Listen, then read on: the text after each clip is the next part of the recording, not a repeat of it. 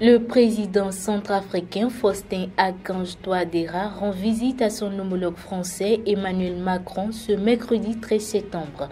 L'objectif de cette visite est de relancer des relations bilatérales après des années de tensions dues à la montée en puissance de la milice russe Wagner dans ce pays. Le président Touadéra s'est prononcé en faveur d'une consolidation des relations avec la France tout en expliquant que son partenariat avec la Russie, marquée par la présence controversée de la milice Wagner dans son pays, était appelée à se poursuivre. Pour rappel, fin 2022, Touadéra, menacé par une offensive rebelle sur Bangui, avait appelé Moscou à la rescousse et des centaines d'autres mercenaires russes avaient débarqué et permis rapidement de repousser les groupes armés hors de la plupart des territoires qu'ils contrôlaient.